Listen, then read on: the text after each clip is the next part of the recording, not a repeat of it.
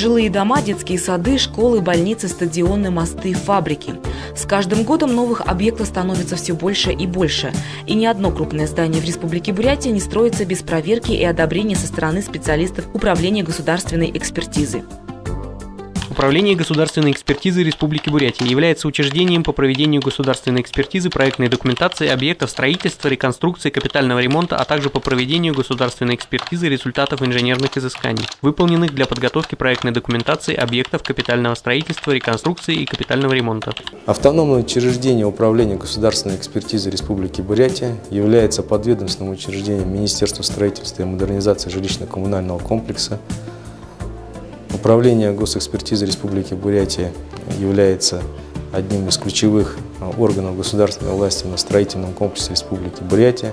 Надо отметить, что управление за все годы своей работы показало очень качественную работу и э, выполняет свою работу а, строго в указанные сроки и очень ответственно относится к своей работе.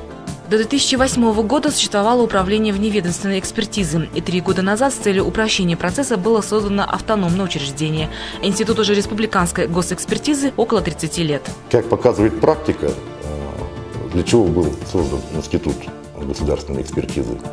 В свое время э, каждый проектировщик, руководствуясь строительными нормами и правилами, э, строительными правилами, проектировал, но, как говорится, у каждого же, все мы люди, у каждый, каждый может ошибаться.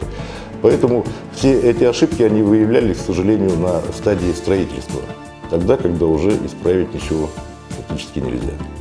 Для этого был создан Институт государственной экспертизы проектной документации, э, который уже на стадии проектной, окончания проектной документации э, экспертировал всю эту проектную документацию, выявлял недочеты, недостатки э, и Э, имелась возможность э, проектным организациям уже до начала строительства исправить все недочеты, недостатки. Процесс экспертизы начинается с приема всей проектной документации. Этим занимается отдел производственно-договорной. Здесь проходит первичная обработка пакета документов, где выясняется комплектность, наличие необходимого. Далее проектная документация поступает в отдел экспертизы. Специалисты проверяют соблюдение проектной документации и требований технических регламентов. После тщательной проверки всех пунктов эксперты выносят заключение – положительное или отрицательное. Специалисты госэкспертизы отмечают, что в последние годы качество проекта проектов улучшилось? Качество проектной документации, в принципе, неплохое. Бывают случаи, конечно, когда получается отрицательное заключение. В этом году, вот, за текущий период этого года, выдано два отрицательных заключения, и несколько договоров было расторгнуто в связи с тем, что было неполнота сведений была в проектной документации. Поэтому ну, вот на текущий момент за первое полугодие выдано 83 заключения, из них только два отрицательных. В среднем по итогам прошлого года где-то 150 объектов различного назначения, ну включая многоэтажные жилые дома, производственные, что крайне пока редко случается, и общественные в основном. Социальные – это школы, детские сады, торговые центры,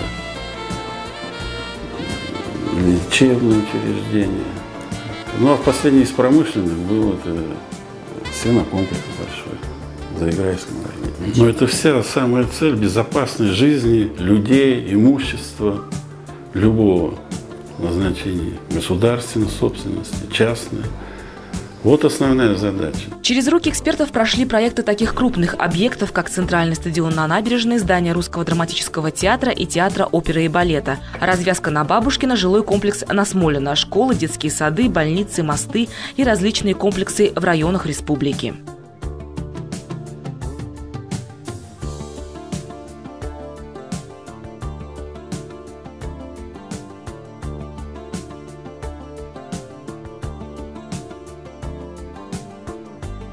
Законодательство в строительной отрасли периодически меняется, принимаются новые нормативы, санпины, стандарты. Специалисты госэкспертизы всегда в курсе новшеств и изменений. Эксперты регулярно проходят аттестацию в Министерстве регионального развития России и имеют статус государственных экспертов России. Коллектив госэкспертизы – это специалисты ультракласса, единичные в проектно-строительной отрасли. Многие из них имеют звание и ученые степени кандидата и доктора технических наук. Профессионализм заслуживает уважения со стороны всех участников строительного процесса. Я считаю, что наша государственная экспертиза э, очень профессионально, жестко и принципиально рассматривает наши проекты и в результате этого добивается вместе с нами качества документации. Э, нет проблем, и эта жесткость, которая есть, она в конце концов направлена только на одно, на пользу делу.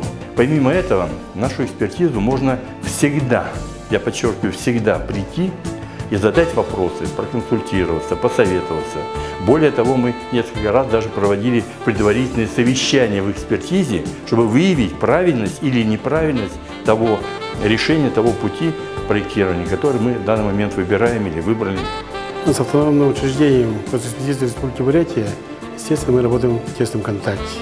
Потому что весь, ну, все строительство начинается, ну, скажем так, с проектной документацией, с разработкой проектной документации, после чего она должна обязательно пройти государственную экспертизу. А затем уже по, по получении положительного заключения уже застройщики приходят, ну, получив разрешение на строительство, конечно, приходит, с извещением приходит к нам.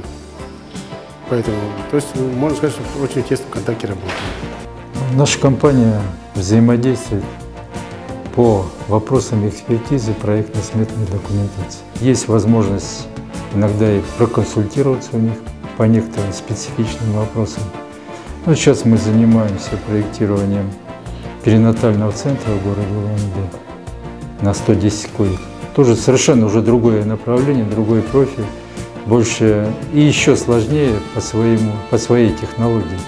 Хотя, допустим, ФСК не менее сложные по технологически, и с точки зрения всех требований, и санитарных, и пожарных – но перинатальность с точки зрения медицины тоже по своей технологии, по-своему уникальна. Поэтому приходится консультироваться у наших коллег. За неполные два года работы учреждением рассмотрено 266 комплектов проектной документации. По результатам проведенной экспертизы выдано 259 заключений. Экономия бюджетных средств за период автономного учреждения составила более 700 миллионов рублей. Это 6,1% от сметной стоимости объектов.